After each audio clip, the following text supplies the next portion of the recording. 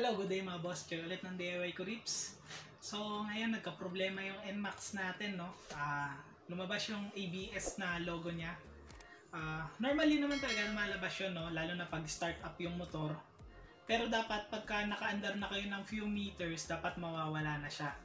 Unfortunately, yung ABS logo nung ah, NMAX ko, kahit na nakalayo na ako, hindi siya nawawala. Tapos, ah, malalaman mo may problema pa siya kasi yung speedometer mo, nagloloko din. Hindi siya naglalabas ng accurate na reading. So, pataas baba, taas baba siya. So, susubukan natin ngayon na i-troubleshoot yung ABS na problema ng NMAX natin, no? So, by the way, no, lagi kong sinasabi dun sa mga vlog natin na hindi ako motorcycle mechanic or ah, car mechanic. Ah, nagdi-DIY lang tayo, no? Tapos, yung gagawin natin ngayon doon sa NMAX natin, ito yung mga nabasa ko lang before. Ah, mahilig kasi tayo magbasa-basa ng mga article, tsaka manood ng mga videos. So, ngayon, ah, ite-testing natin ngayon doon sa motor natin, no? Gagawa tayo ng basic troubleshooting lang pagka nagkaroon ng problema yung ABS ng motor natin. Ah, check natin kung kakayanin natin na maayos or hindi. Siyempre, pagka hindi natin naayos, dadaling ko na sa ah, kasa or doon sa mga motorcycle shop, titingnan natin kung kaya nilang ayusin. Pero as usual, ah, pagka nagkakaproblema yung motor ko, no, ako muna yung unang nag-check kasi baka kaya naman. Sayang yung ibabayad natin sa labor at saka sa paggawa ng motor. So, hindi ko na ito papatagalin, no? Sisimulan na natin. Yan, di bali nandito na tayo ngayon sa NMAX. Ito yung ABS sensor. So, ang una nyong i-check dyan is yung sensor disc. To tignan nyo kung madumi. Kasi minsan merong mga putek na tinatakpan tong mga butas na to. So dapat wala nakatakip diyan sa butas na yan. Kasi ayan yung binabasa na itong ABS sensor natin. Tapos pangalawa, check nyo kung mayroong baluktot-baluktot. Minsan kasi nakukupi yan. Parang nayuyupi siya, no? Ah, check nyo rin yun. Kailangan nyo i-check yun. Tapos kung mayroong mga baluktot, need nyong i-plot para maging tama yung reading ng ABS sensor natin. Tapos, uh, so far okay naman siya.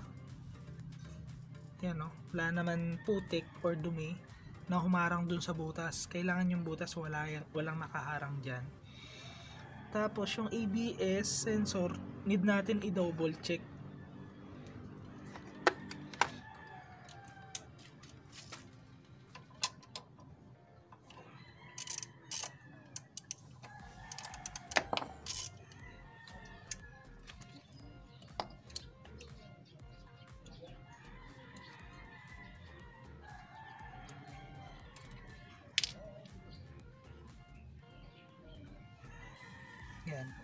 So, hindi naman nabasag yung ABS sensor natin.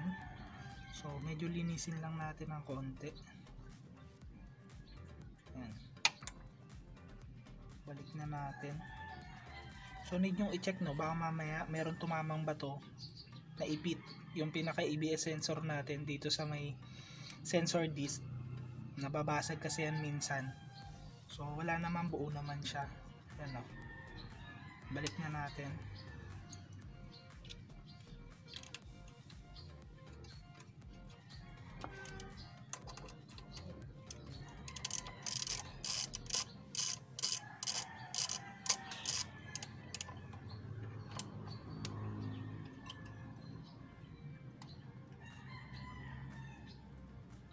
Need nyo rin i-check itong wire. Yan. titignan nyo lang. Paakyat yan. Baka mamaya kasi naputol. Nangat-ngat ng daga. So far wala naman. Ngayon punta naman tayo dun sa likod. Yan. Di bali dito sa likod medyo mahihirapan lang tayo makita yung pinaka sensor disc kasi natatakpan ng disc plate natin So, ang hirap sipatin kung madumi ba yung sensor disc. Uh, ang una nyo muna i-check itong ABS natin, yung wire, mamamaya na putol. Yan. Paakyat lang yan dito. Yan. Ito lang yan, oh. Yan. Tapos pangat dito. Parang okay naman siya. So, uh, i-check na natin yung mismong ABS sensor natin, baka nabasag.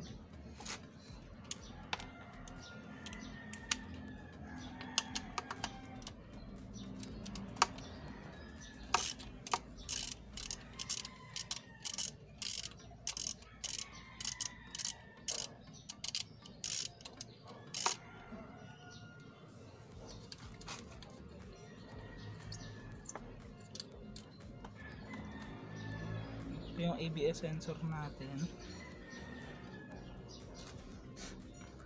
Ayun oh. Ang dumi. So linisin na natin yan.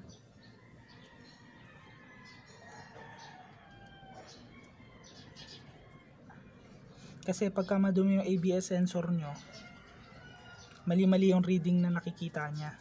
Yan. Kaya lumalabas yung ABS logo dun sa dashboard natin. So linisin nyo lang.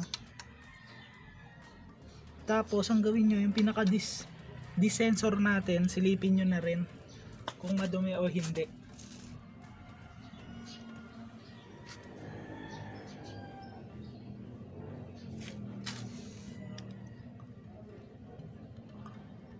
Ayun no. Nasisilip ko dito. Ayun yung pinaka sensor oh. May mga putek. Ayun no.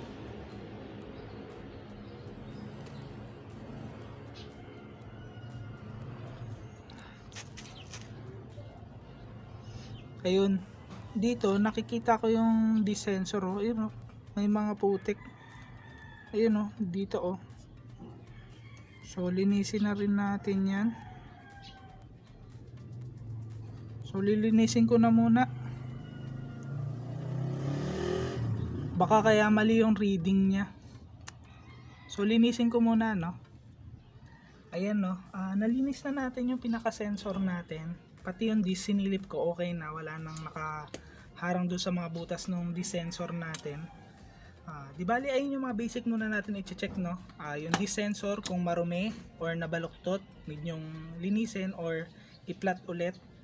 Pangalawa, yung sensor natin need nyo i-check kung madumi o kaya naman ah, i-check nyo kung may basag. Minsan kasi pag merong bato umipit dyan, nababasag yung pinaka ABS sensor natin.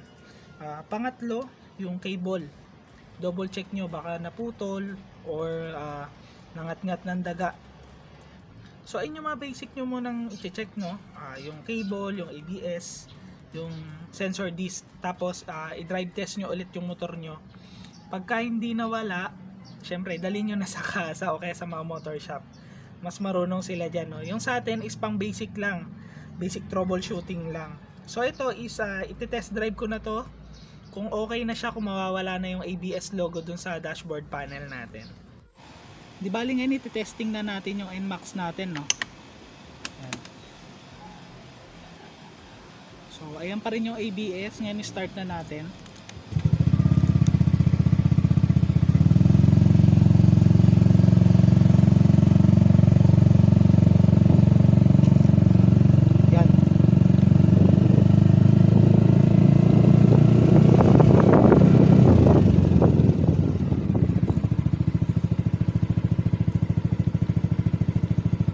Bali konti pa lang yung tinakbo natin na wala na yung ABS. Tapos okay na rin yung takbo nung speedometer natin, naging maayos na siya.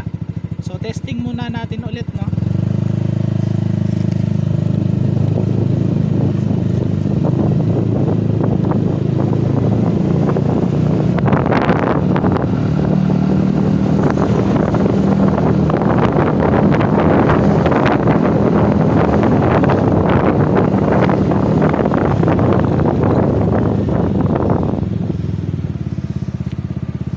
Yan, di bali maayos na yung ABS natin, no? So, tatapusin na rin natin tong video natin. Ride safe sa ating lahat.